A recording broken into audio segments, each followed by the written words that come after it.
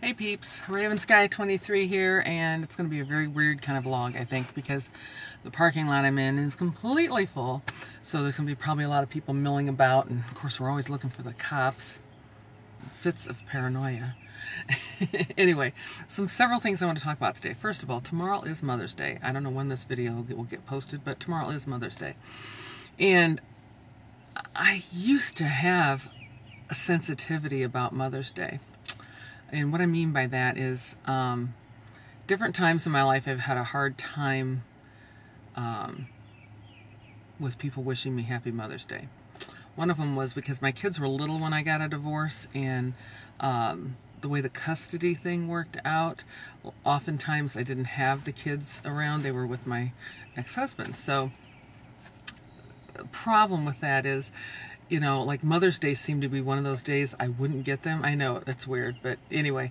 So people would say Happy Mother's Day, and I would like start crying, you know, not good. Yeah, but there's all kinds of reasons that people should be sensitive to people about Mother's Day.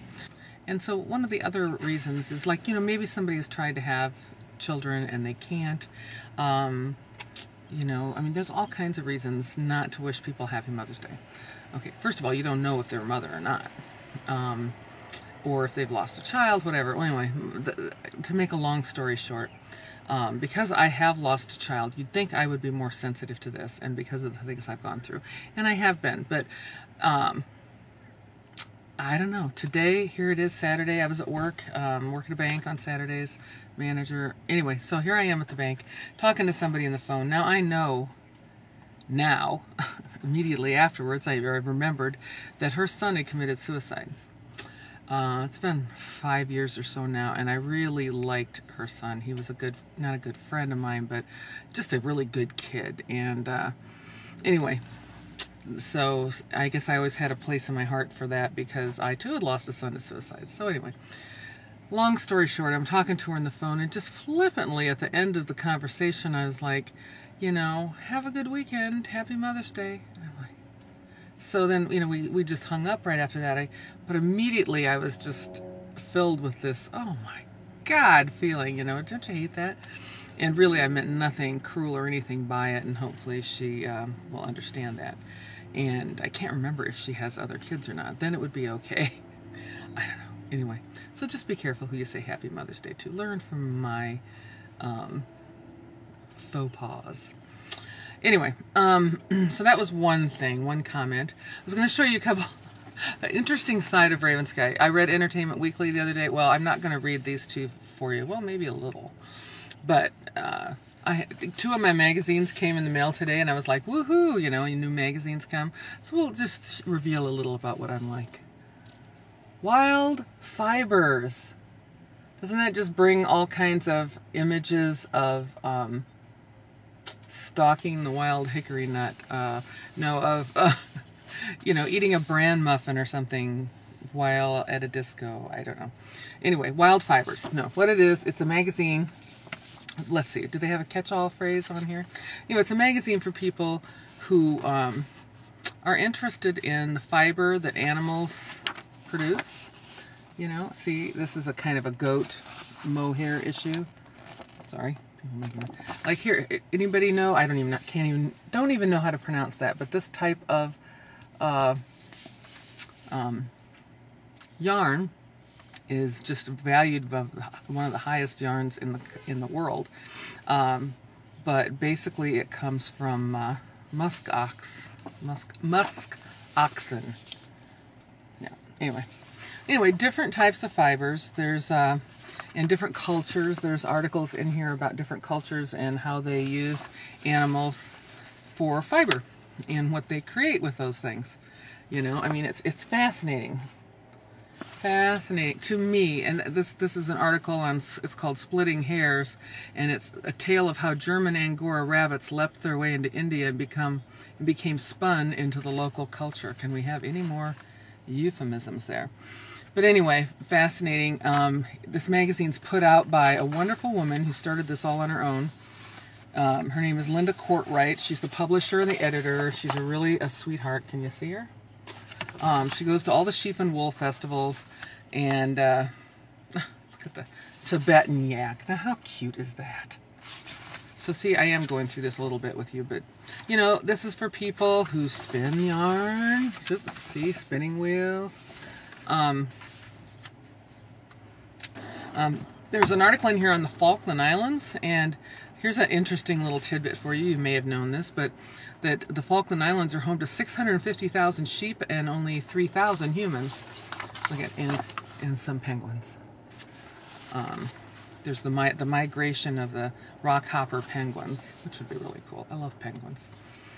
Um, anyway, that's basically this magazine. It's it's all just jam packed with wonderful pictures of little cute little animals and not so cute, but all fiber producing animals.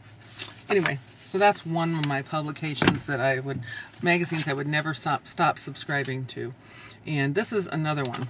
This is see this um yeah, I can say that upside down here. Um, shuttle, spindle, and dye pot.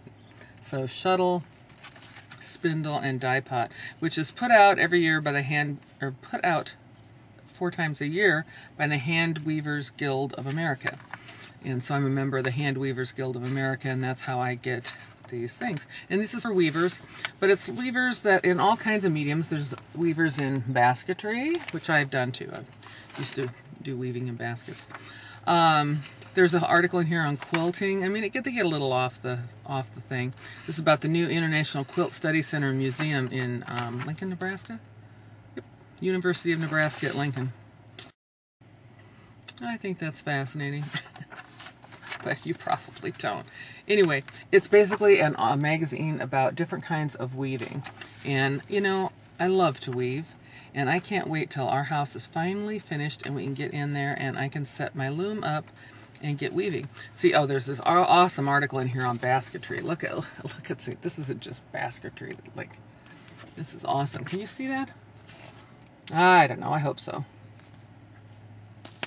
Anyway, so that's shuttle, spindle, and dye pot. There's also articles about dyeing, um, not you know, as I lay dyeing, but dyeing wool and dyeing different kinds of fibers. So you can make beautiful colored things. You know, this is just yarn that was dyed, not by me, but who did make this? Oh, this is Knit Picks.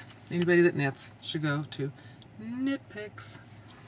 Um, what happened is I finished, finished the project I was working on, the shawl, and uh, which I will show you a little bit later because I'll put it on and show you. Anyway, um, hold me to that because I'll forget. So now I'm trying to come up with the next knitting project. I know I have to go back to my sweater, but it's starting to get warm and I have a feeling that I'm not going to get to the sweater until like only on cold days, but that's a cop-out. So I'm really wrestling internally with this. But I also, we're going back in, in June. Here we're going to go to my mom's back in Iowa for her 85th birthday yeah, we're going to meet a couple of YouTubers while we're there. We're going to, uh, on the way there, stop and see some friends, Eva and Jill, and that ought to be fun. So we're just kind of finalizing arrangements on that. Um, I'm going to take a little bit of a different route going back to Iowa. This time we're going to take the ferry across from, I think it's in Manitowoc, um, Michigan, and it goes across Lake, Lake Michigan into um, Wisconsin because we're going to go to my brother's in Minnesota first anyway, that'll be next month. So, um, I want to have a project that I can knit in the car while we're driving.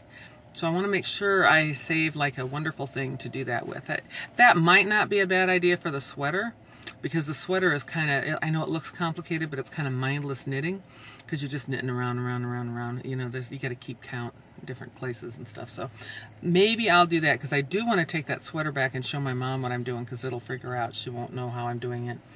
It may be beyond her because she's not a crafty person, my mom. And she's 85. God love her. Give her a break. Uh, anyway, oh, another thing I wanted to show you. Um, oh, first of all, I wanted to say that I've been posting Colin Meloy songs and you guys, I'm trying to space them in between my other ones. And if it's not your thing and you don't want to watch it, just don't watch it. I just, you know, I feel that way about all my videos. If you like see something and it says knitting in the title, well, I would say don't don't discount it from that because I rarely make, unless I'm doing a technique, I rarely make a completely knitting video. So there's always some kind of little tidbit you may find in there, or not. So, what was I going to say about that? Hmm. anyway, go ahead and don't watch my videos if it's something you know you don't like. Like if you're like, oh my God, the Decemberists, he's, you know, I hate those people. Um, Colin Meloy, he sucks. So if you feel that way, please don't watch them. Or, yeah, anyway, thanks. Talk to you guys later.